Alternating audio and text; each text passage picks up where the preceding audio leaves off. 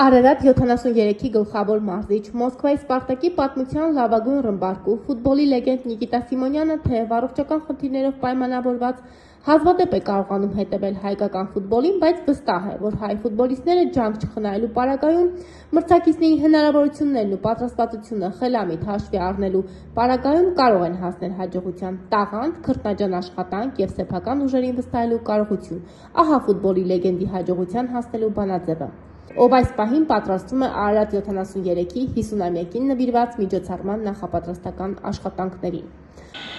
Вы знаете, дело в том, что почти не приходят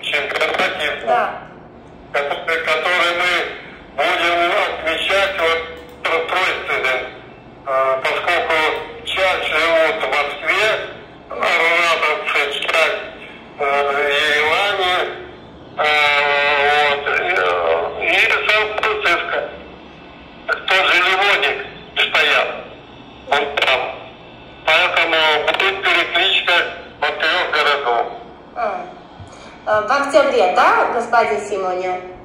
Да, ну а как же, это все-таки дата 50 лет.